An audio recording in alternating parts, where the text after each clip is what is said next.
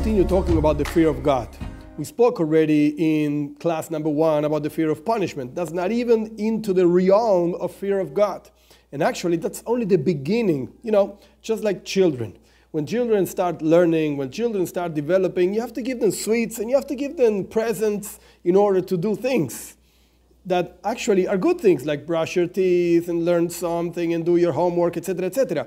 But that's only the beginning. Same thing happens with the fear of God. And between parentheses, we're not talking about this, but you know what? Same exact things happens if you serve God because He's going to give you a reward in the world to come. You know what? You're actually serving yourself.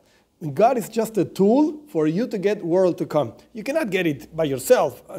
You can go to work and you get some dollars, but you're not going to get world to come. So you use God and you do what He says in order to get the world to come. Are you serving God?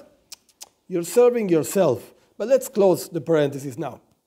We're talking about the fear of God. Punishment is just the beginning. Okay, just for children, quote unquote, and for people that serve God as children. Let's go move on to the next one the fear of chet, of a sin. I don't want to be disconnected to God. But then we spoke about the fear of God Himself. How do you get that? In order to get fear of God, you have to understand who God is. God actually is impossible to understand Him. However, we can think, meditate about certain ideas that can help us understand the greatness of God. Once we get the great, not God, the greatness of God, then we can say, okay, let's fear the greatness of God compared to your greatness. Come on, how great are you? How can you think about the greatness of God and get a grasp of it? So think about the world.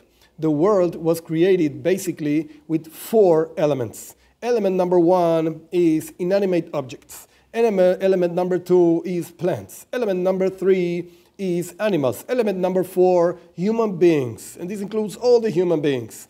Now, God is in charge, constantly creating and giving life to every single element and every single individual in the group of elements, etc., etc., in the whole world. And within the human being himself, God is conscious of all the thoughts of every single human being in the face of the earth and all the words that they, they say and the deeds that they do. And God not only creates this world, He also creates other planets, other stars, the whole universe. As long as you start thinking and developing detail by detail. He takes care of all the single cells of every single human being and all the cells of every single animal and all the cells of the single every single piece of grass, etc., etc.